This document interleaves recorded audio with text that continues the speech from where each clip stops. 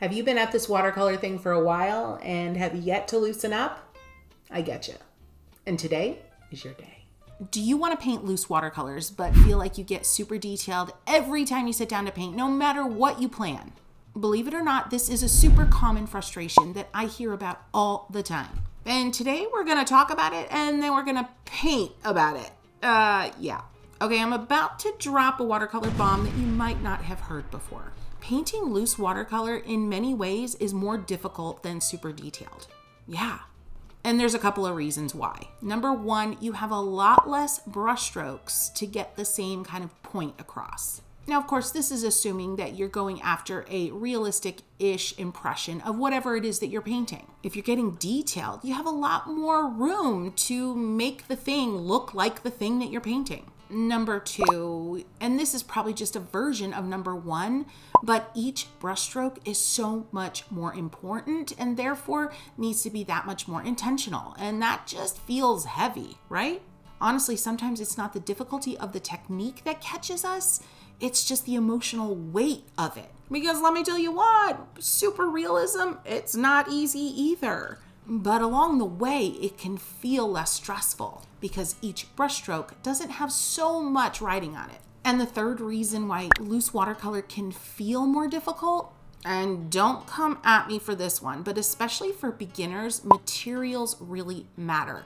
And often with beginners, you don't have the best of materials, and rightly so, because you're just kind of like sticking your toe in the waters of watercolor. So you don't want to spend a fortune and not love it, right?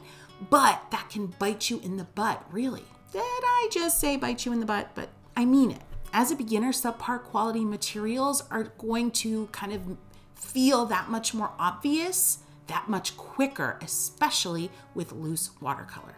Okay, now that we've got the chatting done, let's get into the painting. And this isn't just your like regular loose watercolor tutorial. I'm gonna show you how step by step. And I promise that's a good thing. Today, my friends, we're painting puddles. That's right. I know we usually try to avoid puddles in watercolor for the most part, but today is all about color puddles and it is going to really change things for those of you looking to loosen up with watercolor. Supplies are easy, friends. The one caveat is use the best that you have because, you know, like I mentioned before, but don't worry about whatever the best is. Ultimately, I want you to paint with me today. Like this is definitely a paint with me moment and I just want you to paint. So I don't care what you've got, grab it and let's go. Okay, that was like kind of like a creative contradiction, but the, the most important thing is let's just, we're gonna paint. And yeah, we're gonna do it now. I am using Arches. I'm using my Art for Joy's Sake palette. I've got a bunch of different pencils. I've got like a 2H and a 2B and an HB and I think a 4B. I don't know. The type of pencils doesn't matter. Just grab a pencil and if it's not super sharpened, the better still and just grab your favorite watercolor brush. And you don't want it to be a teeny tiny one because remember, we're making big puddles, big color puddles today. Okay, this is super important and spraying down your palette has probably never been more important than in this particular project. Want to get those colors juicy. If you've never sprayed your palette before, this is the day to try it, friends, because we want those little wells of color nice and syrupy and juicy and lovely. Let's do it.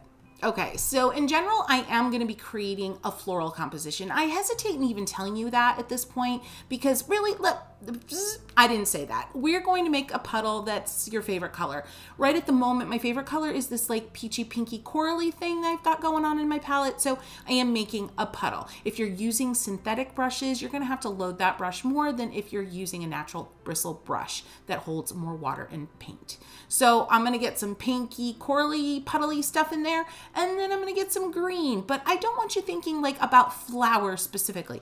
I just want this to be extremely abstract and super fun and messy and crazy and chaotic, just like my description is right now.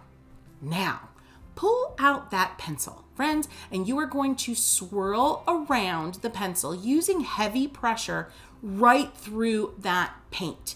Me, I'm going right through the pink. I'm swirling and I'm bouncing as I'm going. Let's look at that again. I'm going around and around, and yes, I'm going right through the paint.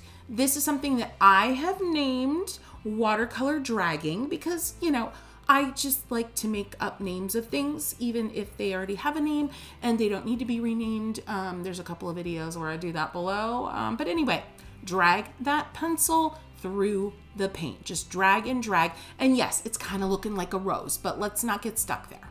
Now you've got the green puddles. You can kind of drag them out, drag that pencil through the watercolor. And the heavier your puddle is, the more that color, the more that paint and water is going to get drug with the graphite as you go. And if you look close, you're getting some super duper neato effects when that dragging happens. And by the way, I don't really think watercolor dragging exists. I, I do truly believe that I made this one up. And if I'm wrong, let me know in comments because, well, I probably don't have to tell you. You'll come for me. It's okay. Okay, the basic point here, friends, I just want to fill this page. I want to fill this page with puddles and then drag all of my pencils through the puddles to kind of create something that resembles a flower, a bud, a leaf, maybe a berry. That's it, friends. We're just pencil dragging through color puddles. Yeah. Can you say that three times fast? Pencil color, color dragging. Put. Apparently, I can't even say it one time. Slow. anyway, let's keep going. Notice my pencil hold here. This is an alternative pencil hold. I have a whole video about it. I'll link it below. And this is what I want to say about this. I encourage you to try this pencil hold, okay? Because it ultimately gives you less control. And here is where we come back to the topic at hand, which is how do I loosen up? How do I start painting loose watercolor when there's so much anxiety surrounding it? Number one, you know I've got a list. I love the lists, the numbered lists. Yeah, they're awesome. Okay, number one, use your materials in a way that on purpose gives you less control. And this pencil hold, my friends, is one perfect example. Because when you relinquish control, you kind of have to just like deal with it. When you force yourself to have less control over your supplies, you figure out how to deal with it. You figure out how to be uncomfortable and you figure out how to go with the flow of the uncomfortable that can lead you somewhere really spectacular. All right, now I'm down here in the bottom right, and don't worry, I'm gonna get back to the numbered list. So I'm just kind of doing a peach puddle, and I've decided I'm gonna make this a side view. But remember, when you make the puddle, try your hardest not to actually think about what it's going to look like after you apply the pencil. Just like force yourself, just like shut that part of your brain down and be like, nope, this is just a puddle right now. Can you tell how unbelievably excited I am about this particular little project we got going on here? It's so fun. If you agree with me, if you're having a good time, I need you to do two things. Number one, I'd love if you could give this video a boop. Friends, that is a like in Kristy speak. And uh, yeah, it just, it helps the channel. It helps me. It makes me feel good about myself. Apparently, I need a boost of self-esteem, but that is a topic for another video on another day. And the second thing I'd love for you to do for me is head into comments. Let me know, are you having a good time? Does this feel like a project you're doing? Or better yet, are you actually painting with me? Because you, if you remember, I mean, I really, I asked you to paint with me earlier in the video, so I hope you are. Anywho, let's get back to the puddles. Okay, number two, another thing that you can do to kind of force yourself to loosen up. And this is gonna feel, sound weird, all the things, but time yourself. That's right. I am working on about a seven inch square piece of watercolor paper. So number one, I know that I don't really need more than, absolutely don't need more than 15 minutes to, to kind of fill this space. So I just highly recommend limiting your time because if you if you make it unended and yes we want to get into that joy state into the flow state and just really sink into our experience and if that happens great but if you are actively seeking to become more comfortable with loose painting, you need to build some new habits. And one way to do that is kind of restructure your old habits. So if you let yourself go all the time and you get deep into the detail of your painting, you know that you know the deep I'm talking about, where like you're a half hour in, you're an hour in, and you realize that your face is so close to the paper that it's about to just like smack your desk. Yeah, timing yourself is gonna pull you out of that and it's going to help to start restructuring some of those habits. Restructure, restructuring, whatever. You know what I mean.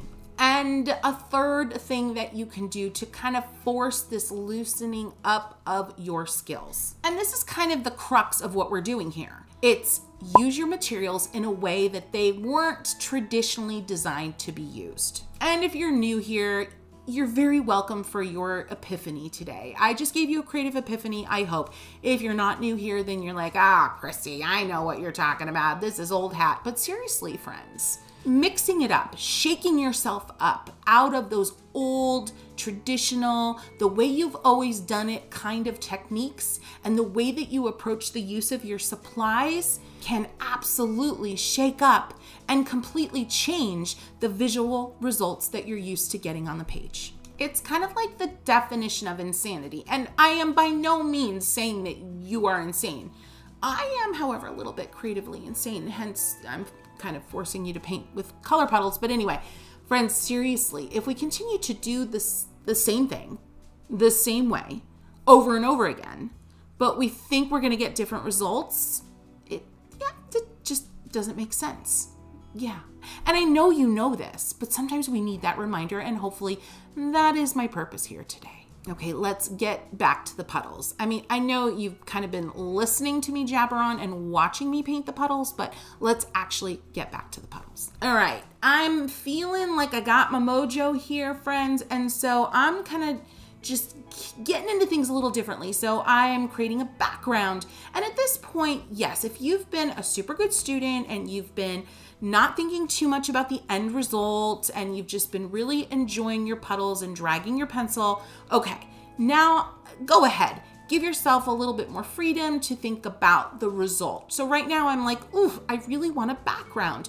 And so I've created a big long puddle in a couple different areas throughout my quote unquote composition. I mean, I don't know if we could really call it a composition because it's just crazy, but it's fun.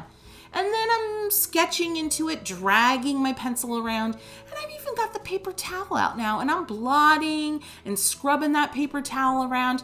Here is the big the big lesson. You've been waiting for this one. And I can't say that this is the the last like awesome point that I'm going to have in this video. So you're probably going to want to stick around.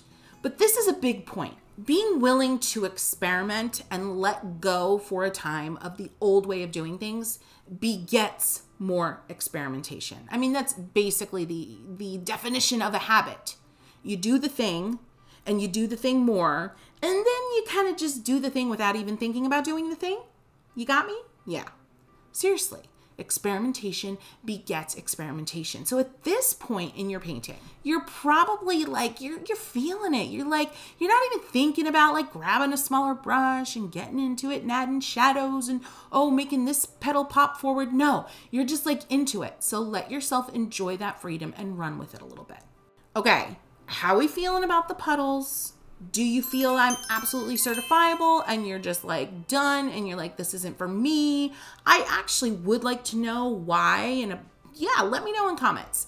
If you're having a blast, if you've had a creative epiphany, if you've had a moment where you're like, I never thought about this this way before and I think this is going to help me, go ahead into comments, not for my sake, but for the community's sake, because the epiphany that you have, the aha moment that you have, could be the same for someone else. And that is really exciting. And you know what else is exciting? When you give my videos a boop. That's a like. Okay, that was really, really bad. Moving on. So you might be wondering, okay, Kristy, this is cool and all. I like it. The puddles are fun. I tried it. But how does this translate into me actually loosening up in the style of like modern loose watercolor that I'm after? It translates because next time I want you to try this, but a little differently. Maybe a little less puddly, a little less water on the page, and just really think about your brushstrokes. You maybe want to recreate this piece, but without the pencil dragging right?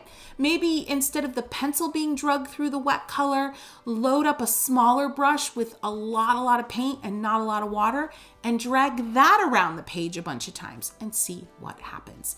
Keep expanding on this project and keep building those habits of avoiding the traditional way you've done things. And I can't even imagine what's going to happen for you. Like, I mean, can't imagine because it's just that good. Now, you heard me mention intentional brushstrokes, that your loose watercolors require more intentional brushstrokes. This video is all about that, and it's the perfect follow up to what we did here today. So, until next time, my dear friends, I wish you so much loose watercolor happy painting.